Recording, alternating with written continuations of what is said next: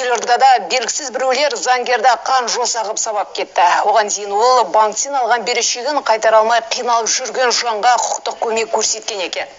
Сондықтан зардап шегуші күдіктілер коллекторлы компанияның қызметкерлері болуы мүмкін деп топшылап отыр. Сонымен расымен солай ма?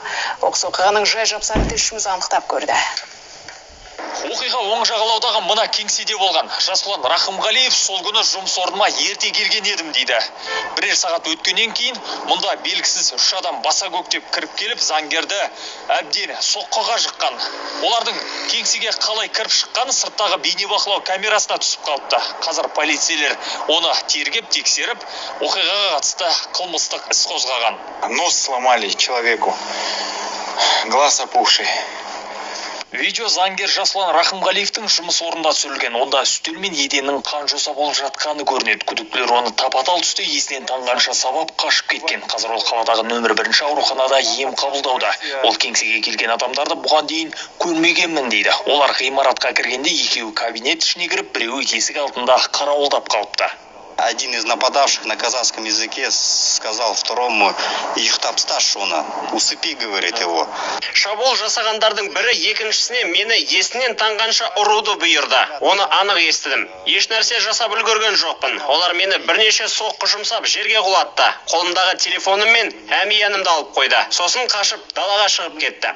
Жасұланның сөзінше барлығы банктен алған берешегін қайтара алмай коллектордан зәбір көрген жанға құқықтық көмек көрсетпек болған кезден басталыпты. Заңгердің бізбен бөліскен аудио жазбасында коллекторлық компанияның қызметкерлері борышкермен қалай сөйлескені анық жазылып қалған Все сказали.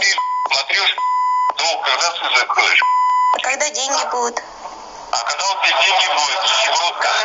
А Когда деньги будут, А, тогда а заплачу. потому что нищебродка. Вот тебя родители зачем вообще родили такую нищебродка? жасұлан рахымғалиев осыдан соң борышкердің өміріне қауіп төндіріп балағат сөздермен сөйлескен коллекторлық компанияға барып біраз былықтың бетін ашады мы посетили эту коллекторскую компанию где а, увидели ряд нарушений.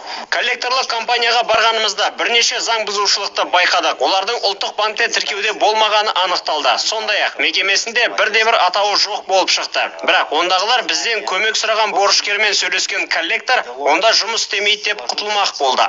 Осылайша банктен алған берешегін қайтара алмай қиналып жүрген жандарды тығырыққа тіреп үйренген коллекторлар заңгерді сабасына түсірмек болды ма ол жағы белгісіз. Бұл оқиғаны өз арнасына шығарған қоғам белсендісі блогер тәңірберген бердоңғаров заңнан тыс әрекетке барғандарды анықтап лайықты жазасын беру керек дейді.